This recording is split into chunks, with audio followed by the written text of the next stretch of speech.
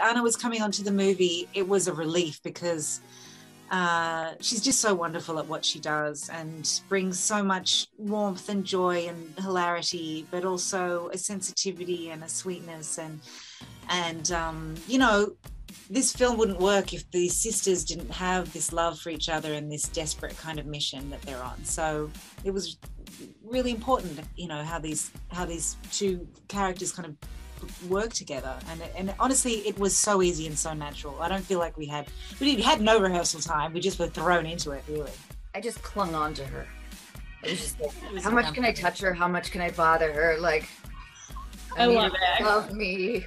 Oh God, my whole family is insane.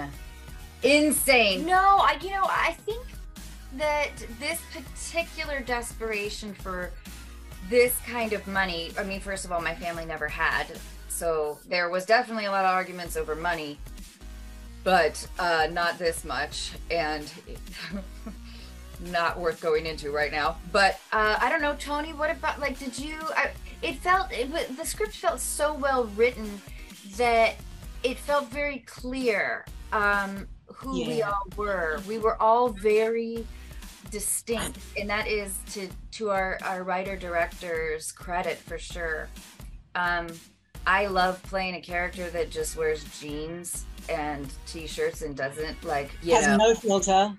Has no filter. Like uh, it felt great. It felt like we got to um we got to just play. Like there were so many days where it felt like this were like just a bunch of cool actors getting to play. And I loved. Um, I was really. This was the only time that's happened to me. I was really sad um, on our last day of shooting. I was. I felt like this has been such a special project to me um, because of kind of where I was. Anyway, I'm going on, but um, yeah, I think that it it felt like we all all our shoes fit. Yeah, there are very few that my kids can see. I'm much more lax.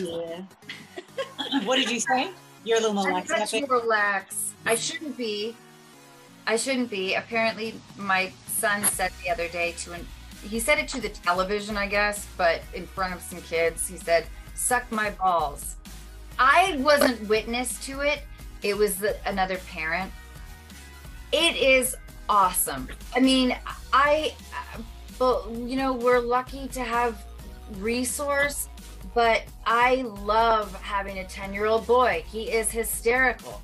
And, um, and I, I, I feel like I'm a child myself, so maybe he's just raising himself. So we'll see how that goes, how he turns out.